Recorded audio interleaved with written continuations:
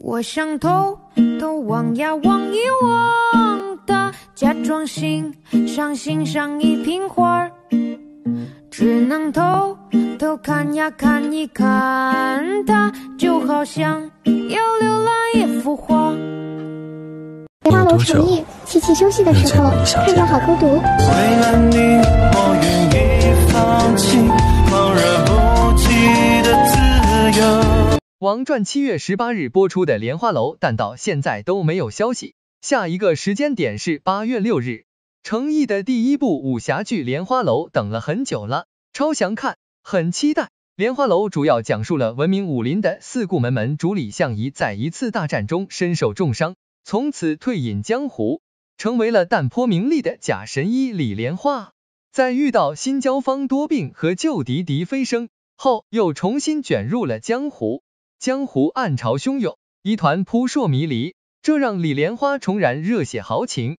莲花楼剧组是真的不宣传哎，连个预告都没有。整剧八个案件：灵山石珠、必有鬼杀人、一品坟、嫁衣不祥、今生佛活、观音垂泪、女宅，悬疑气氛拉满。你们最期待哪个案件呢？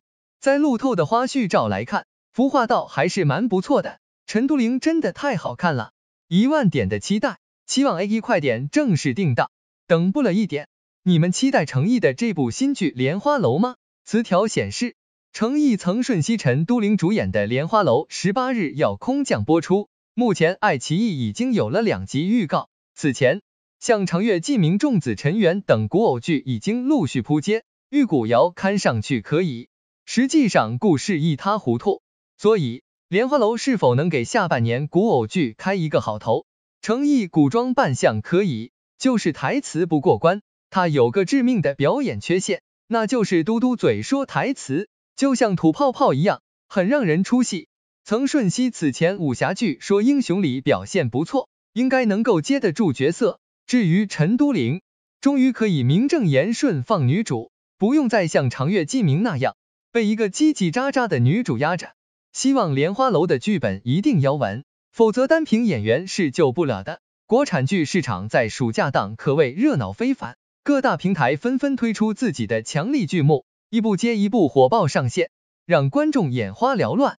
玉骨遥在收视率方面表现出色，完全压倒了安乐传。不过长风渡结束后，桃子并没有放弃，相反还打出了收视率之王莲花楼。莲花楼引起了广大观众的特别关注，这不仅是因为原著小说的深厚内涵和广受欢迎，还得益于制作团队和演员阵容的出色表现，为其增添了不少优势。郭虎导演个性低调，然而近年来他的作品却取得了巨大成功，从陈希元到周生如故，再到沉香如屑，都受到了广泛关注和好评。他在古装领域专心致志。通过独特的拍摄技巧和对人物情感的细致把控，经常给观众带来深入人心的观剧体验。莲湖楼的制作历时长达四年，从剧本开发到杀青，整部剧中共搭建了多达四百个场景，以确保观众能够尽情享受剧情。为了不让观众有丝毫遗憾，制作团队还精心按照原比例制造了李莲花所用的马车，并邀请了香港武术团队来指导所有的动作戏。这无疑大大提高了观众的期待值。本剧的演员阵容同样令人瞩目，男主角是广受大家喜爱的古装男神程毅。从青云志中那个飘逸冷峻的林惊羽，到琉璃中与司凤那个情深似海的形象，再到沉香如屑中守护苍生的帝君应渊，这些角色都被他塑造的栩栩如生，立体鲜活，颜值绝非程毅在娱乐圈走红的唯一原因。然而，他的演技不断进步，以及作品积累也功不可没。无论是古装、现代装，甚至是军装，程毅的颜值从未让人感到失望。他的吸引力确实很大。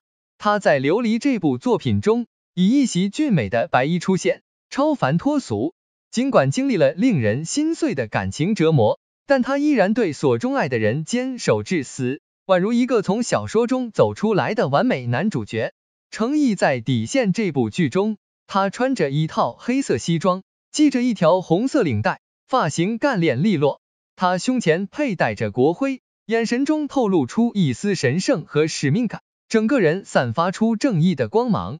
程毅换上军装后的英俊令人目不转睛，他坚毅的表情和锐利的眼神完美的展现了军人的威武霸气。程毅在本剧中再次展现了他的风采，他挺拔的身材、清秀的五官和温润如玉的气质，使他成为了李莲花理想中的男主角。故事中，原本对江湖事不感兴趣的李莲花，在偶然遇见少年方多病和旧敌敌飞升之后，三人抛开过去的恩怨，建立起深厚的友谊，并开始了一段共同破解江湖奇案的旅程。除了他迷人的容貌之外，程毅在剧中的打戏也给人留下了深刻的印象，所有动作场景都是他亲自上阵，优雅自如。